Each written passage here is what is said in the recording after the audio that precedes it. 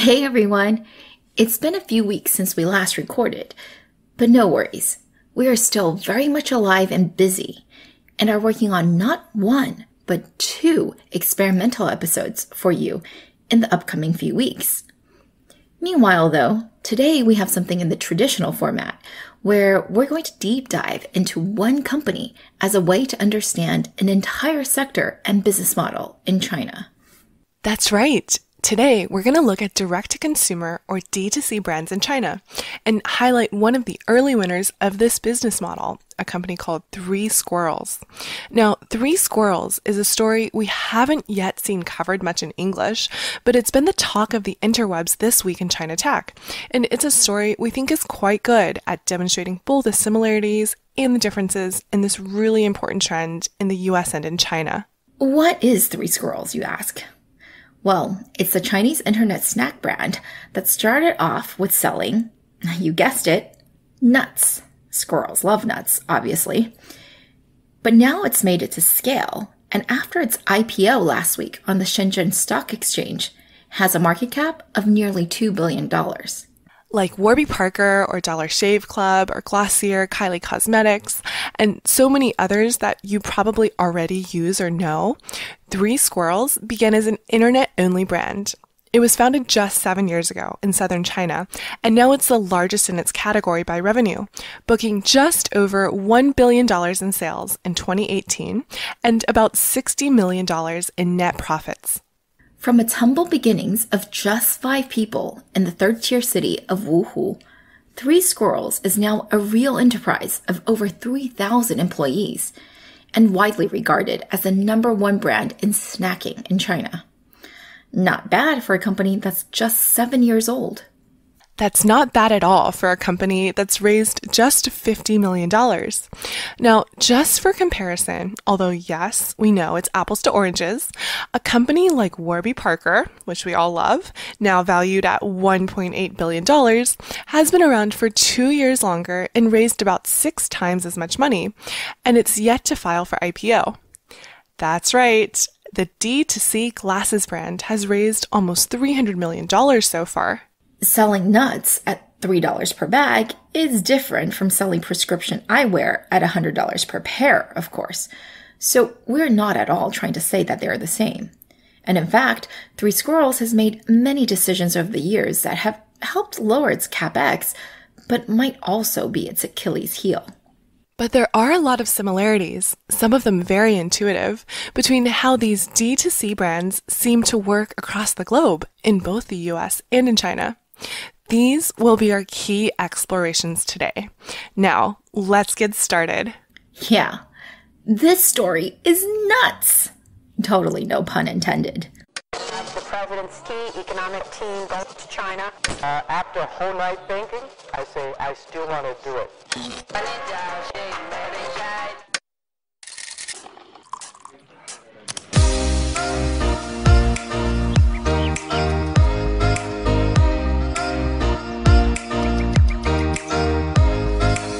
Everyone. We are Tech Buzz China by Pandaily, powered by the Sinica Podcast Network. We are a bi weekly podcast focused on giving you a peek into what's buzzing within the tech community in China. We uncover and contextualize unique insights, perspectives, and takeaways on headline tech news that don't always make it into English language coverage, so you can be smarter about the world of China tech TechBuzz China is a part of pandaily.com, an English language site that tells you everything about China's innovation. I'm one of your two co-hosts, Rui Ma. And I'm your other co-host, Ying Ying Lu. We'd like to acknowledge our partners, Deal Street Asia and SupChina, creator of the awesome Sinica Podcast Network. In addition to TechBuzz, you can also find Sinica, which covers current affairs, NüVoices, and Ta for Ta on women, the business-oriented China Econ Talk, and the Caixin Sinica Business Brief from China's leading business magazine. Speaking of Deal Street Asia, their annual private equity and venture capital conference, Asia PEVC Summit, is set to take place on the 17th and 18th of September this year. Hear from market leaders and experts and network with the industry's best over two days in Singapore. To register, follow the link events.dealstreetasia.com slash SG 2019. We are also going to be in Beijing and Shanghai the week of October 7th to 13th, 2019, right after Golden Week for our inaugural invite only TechBuzz China investor trip. So if you're around, tune in for dates and locations of meetups that we plan to have with you guys. And finally, as always, if you enjoyed listening to our podcast, please leave us a review on iTunes or whatever other platform you use.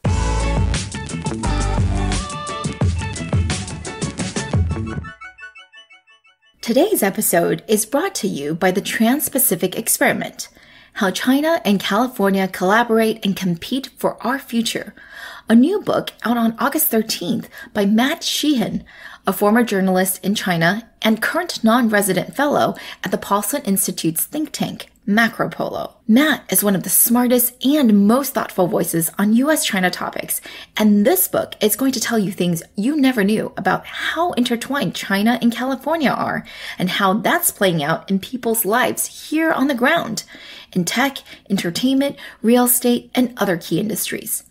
If you're in the Bay Area, see if you can make our Tuesday, August 13th evening event hosted with the Asia Society. If you can't, you'll still definitely want to pre-order this book on Amazon.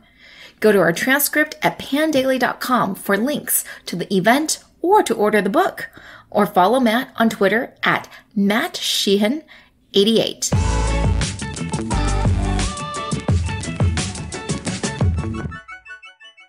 So, as we've already introduced, Three Squirrels is a top selling snack brand in China. And just how big is the snack market in China? Not super clear. We got a lot of confusing estimates. But if you believe Chinese media, then it's either over $70 billion in revenue, over 10% bigger than the food delivery business, and on par with the US market size, or even as much as $400 billion, according to one report by state owned media XinhuaNet. That's still within a magnitude of difference.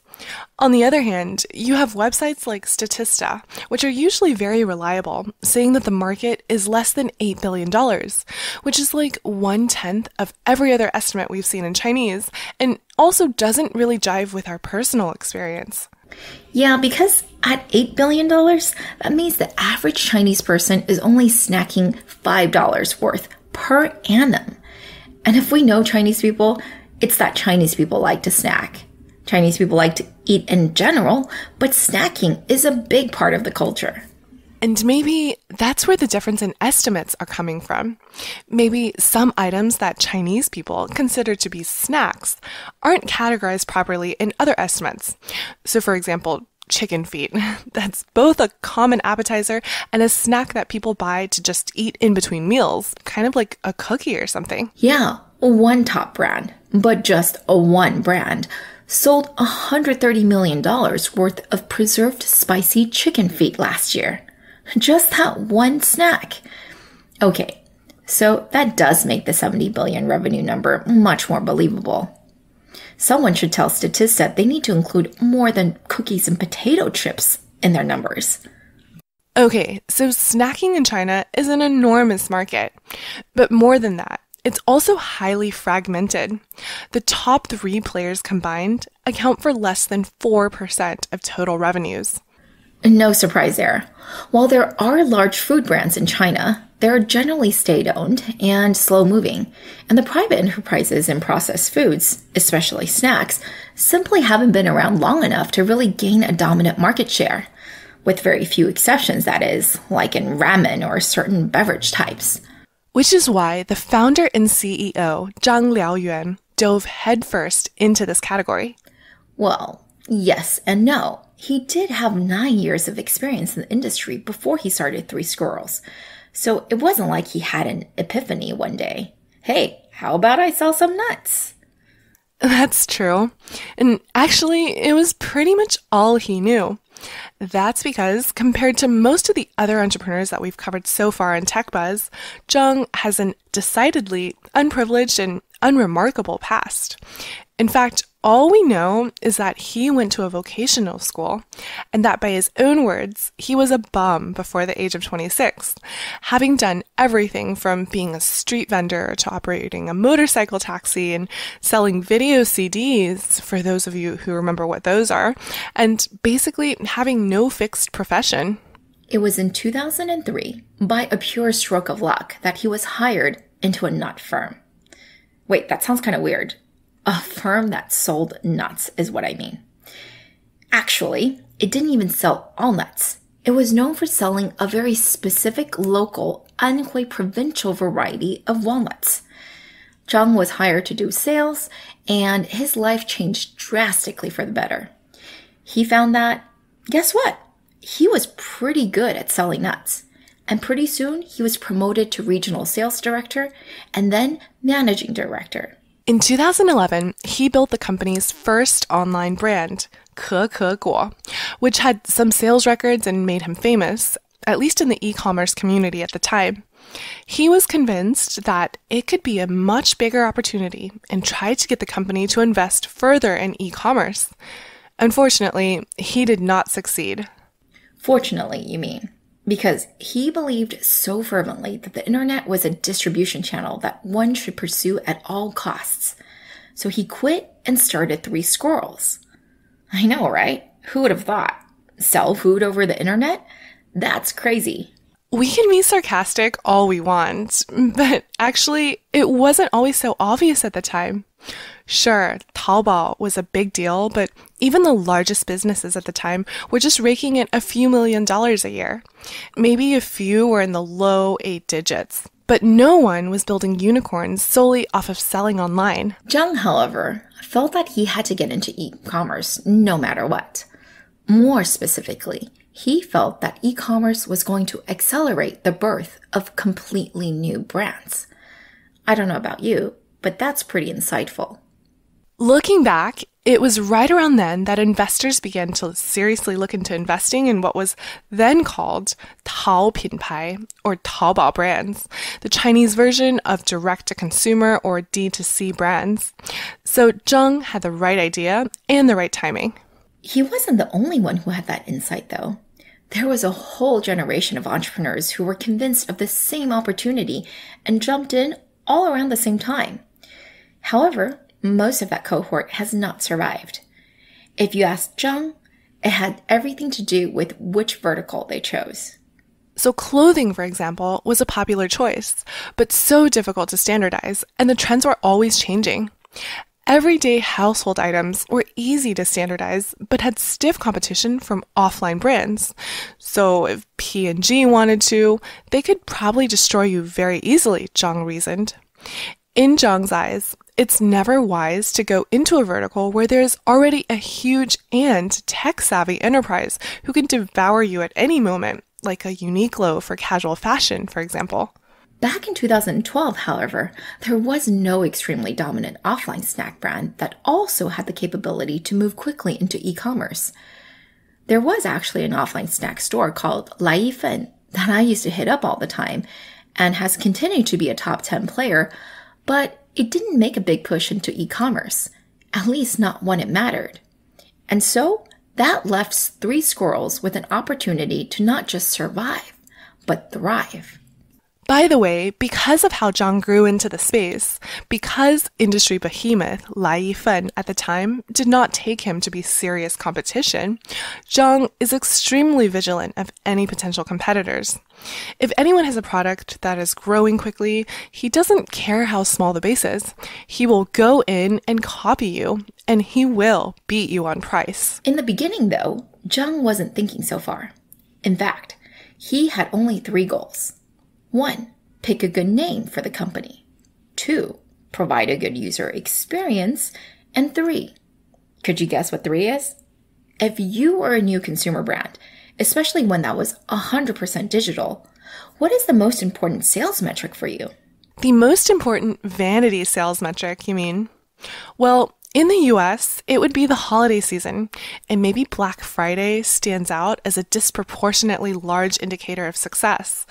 But in China, that would absolutely be November 11th of every year, or Singles Day, Alibaba's giant e commerce festival, which we covered in detail in our episode 29. But let's back up a little here. Zhang quit and started Three Squirrels in the beginning of 2012, quickly raising $1.5 million in Series A funding led by IDG. At the time, his post money valuation was just $5.6 million. Yes, you heard that right. That was his full Series A. This was before the concept of unicorns burst onto the scene and people like SoftBank came to play. The good old days. With this money, Zhang went to work. One of his nicknames is Songshu Lao Die, or Squirrel Dad, which is totally on cue, on brand, and it makes sense. Another one, though, is Chief Brainwashing Officer, 首席洗脑官, which is not on brand, but might be more accurate. After all, it's widely acknowledged that Three Squirrels' success is in large part due to his genius for brainwashing. I mean, marketing. No surprise there. As we've also seen in the US with respect to direct to consumer brands, lots of these founders don't have a traditional tech or even e commerce background. That's because most of these businesses, as one would expect, is low on tech, high on operations, and highest on marketing. This might, by the way, explain Three Squirrels' obsession with intellectual property. Over the years, it's accumulated over 1,400 trademarks, covering not just the brand overall, but each one of its three cartoon squirrel brand ambassadors, and also 300 patents. Support for this week's show comes from Brattle Street Educational Counseling. Stressed out about college applications? Brattle Street Educational Counseling can help. They provide guidance throughout the whole process and offer workshops for students looking to work in small groups at a rigorous pace. The workshops include hours of one on one attention. From college essays to standardized test prep to interviewing and applications, Brattle Street offers support for any student. Brattle Street, B R A T T L E Street.com, helping you get where you want to go. I know that foreign companies are always complaining about IP protection in China, and they have every reason to. But the truth of it is that Chinese companies steal from and infringe upon each other all the time as well. Zhang and team obviously were well aware of that and filed their first trademark application before the product even went live. In a commoditized industry where your brand can be everything, Three Squirrels was relentlessly aggressive about protecting it. But also, before you get super excited about the vast Three Squirrels patent portfolio, know that patent law in China is quite different from that in the US, so it can be a bit of a vanity metric, kind of like many other things in China. So, for example, some of Three Squirrels' patents include cookie recipes and packaging design for its stuffed animals of its company mascots.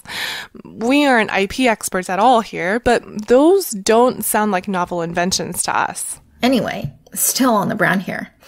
For whatever reason, people just loved the Three Squirrels brand.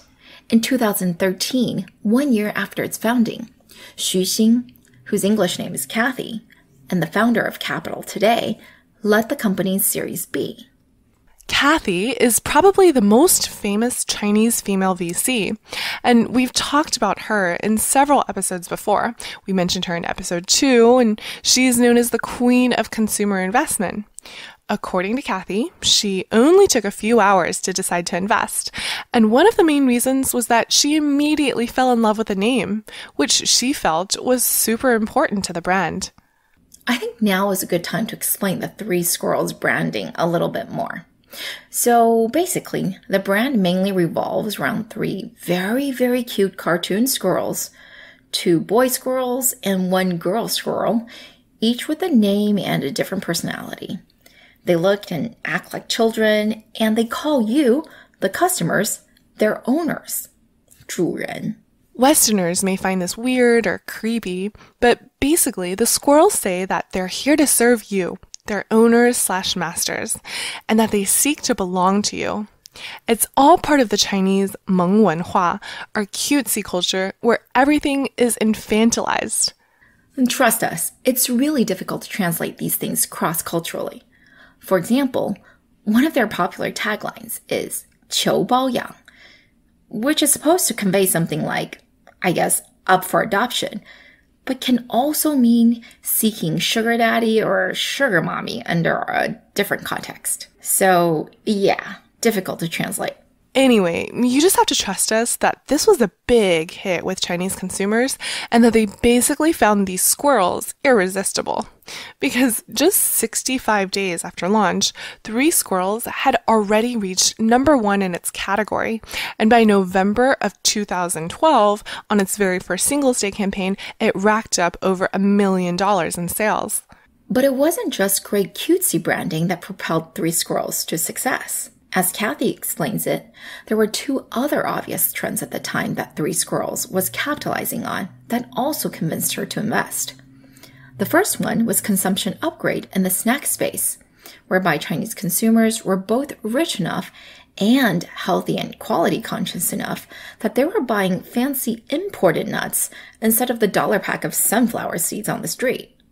The second was the fact that Alibaba was heavily pushing Tmall, its B2C platform, diverting substantial amounts of traffic from Taobao, its C2C product.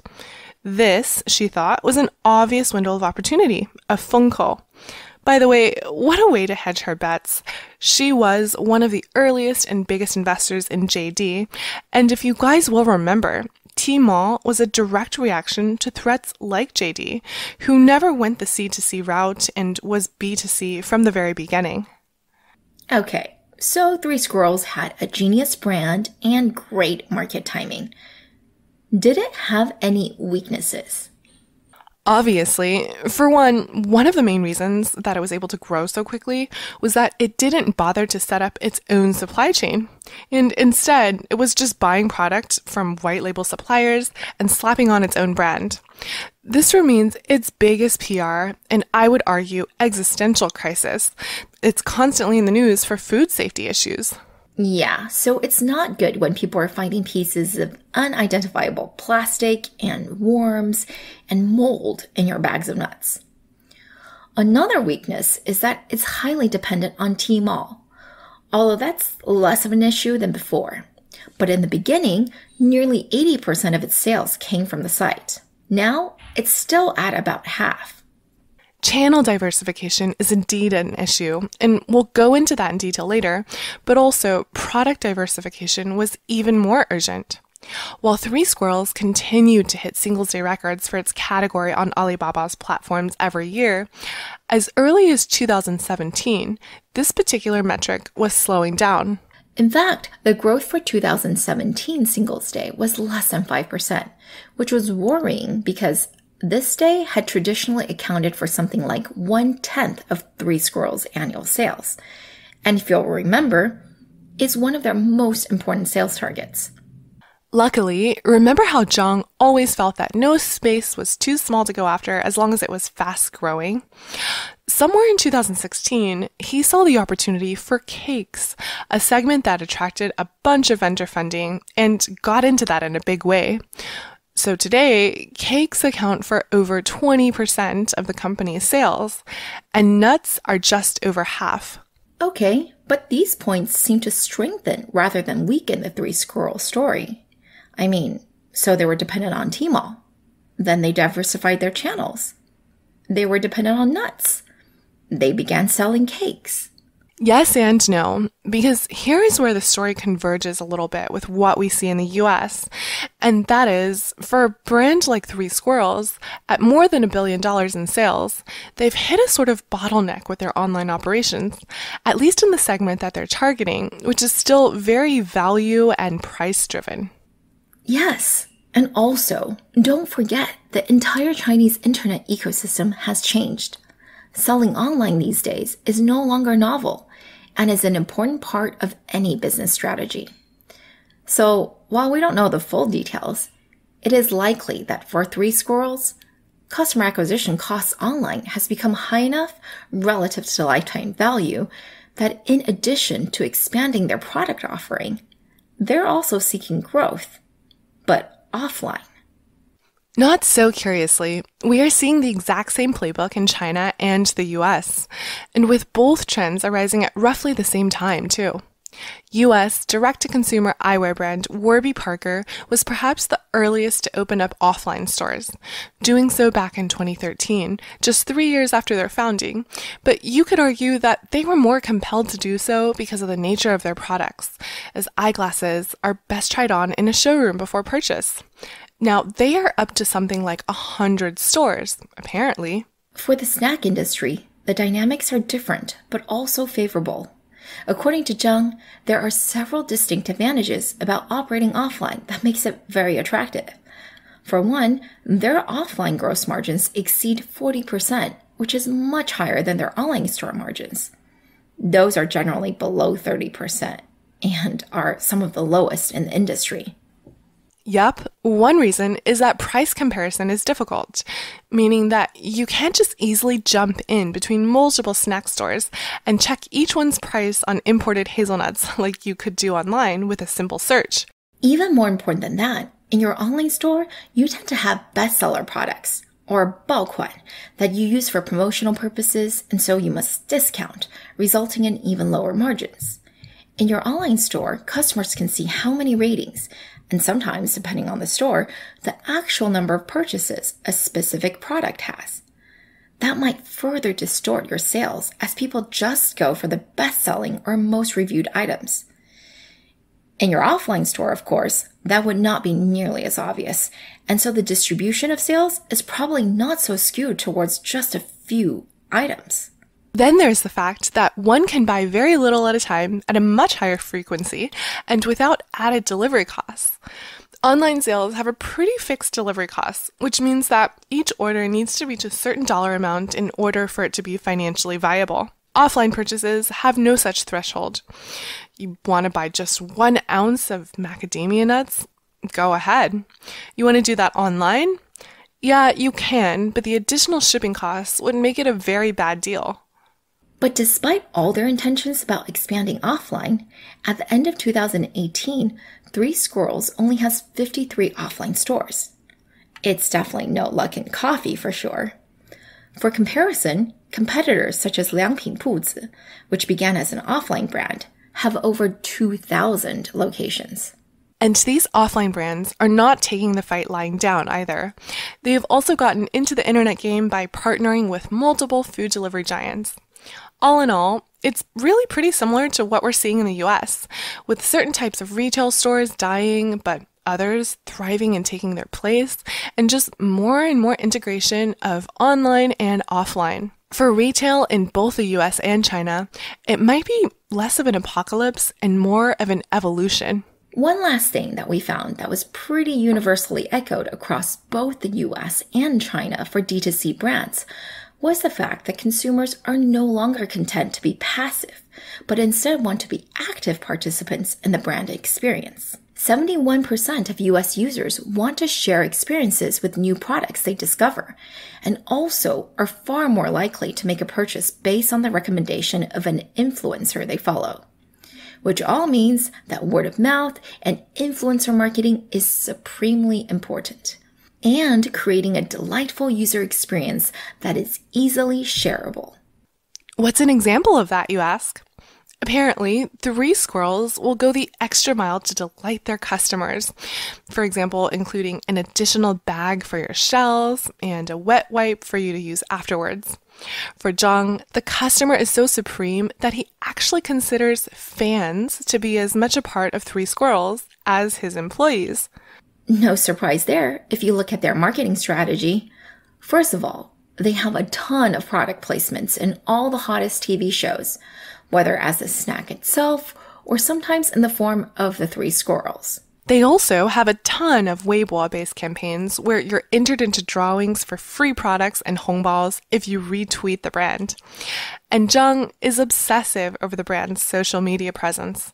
He claims that he rarely goes to business dinners, anything and everything he needs to learn about his business, he can do so by combing through social media and looking at what customers say about his products. That's not a bad strategy. In the US, over one third of users believe that sharing about the brand in their social media is a requirement for brands they're loyal to.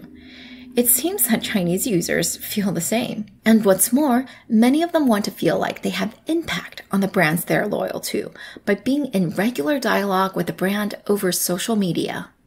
Remember how in TechBuzz episode 41 on Ruhnn, the recently IPO'd platform for influencers, we talked about how super influencer Zhang Dayi, the Kylie Jenner of China, sources her newest fashion ideas from her fans? Well, Three Squirrels is doing that as well.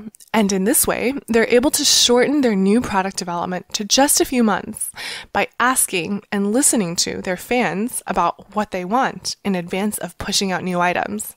Of course, this is by no means something that is unique to Three Squirrels, but still, color us impressed that you can find most of these insights in a 2015 interview of Zhang Liaoyuan. That's pretty early. All right, I think that's enough about squirrels and nuts for today. Why don't you summarize for us what we learned today, Ying? Today we talked about Three Squirrels, the leading snack food brand in China that just went IPO in Shenzhen at a PE ratio of 23 times and is now worth almost $2 billion. It was founded seven years ago by an entrepreneur named Zhang Liaoyuan, who despite not being well educated, really saw the opportunity at the time to accelerate the creation of a whole new consumer brand using e-commerce channels, specifically Tmall, Alibaba's B2C platform and the world's seventh most trafficked e-commerce website. That's right. Zhang had been nearly a decade in the nuts business and decided that without a large offline incumbent to threaten him, he had a good chance of taking a large piece of the highly fragmented Chinese snack market which has annual revenues in the tens of billions of dollars. He made sure to give the company a great name, Three Squirrels, and trademarked the heck out of it. Then, using funding he raised from funds such as IDG and Capital Today, Zhang focused on making record sales every year on Singles Day, Alibaba's annual shopping festival. This he did for seven years in a row, finally hitting $100 million last year. Hey, Zhang is an ambitious guy. He's never hid the fact that from the beginning, he's wanted to build a company that lasts 100 years and gets into the Fortune 500. But in order to chase quick and cheap growth, he chose not to own his own supply chain and instead relies on third party suppliers, making the brand synonymous with poor food safety in many consumers' eyes. Still, that doesn't erase the fact that he used his remarkably accurate intuitions about using social media marketing to build a massive direct to consumer business that is still growing and profitable. There are certainly many lessons to be learned here and many parallels we can draw to US retail. Yes, its expansion into offline stores being one of them. We've also seen many D2C brands do that here in the US, such as Warby Parker, the eyewear brand. We'll see how that works out for players in both countries. But our guess is that for many product categories, having offline stores can greatly enhance and complement their online sales. I didn't think snacks were the most obvious category for that, but Zhang gave some compelling reasons for it.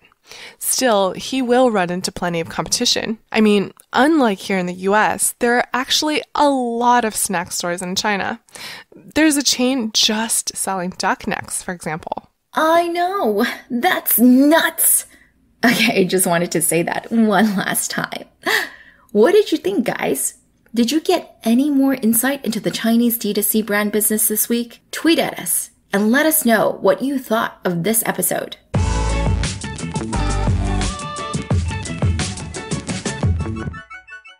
All right, that is all for this week, folks. Thank you for listening. As a reminder, our episodes will now be available every other Friday instead of on Wednesdays. We really enjoyed putting this together, and we're always open to any comments or suggestions. You can find us on Twitter at ThePandaily, at TechBuzzChina, and my personal Twitter account is spelled G-I-N-Y, G-I-N-Y. And my Twitter is spelled R-U-I-M-A.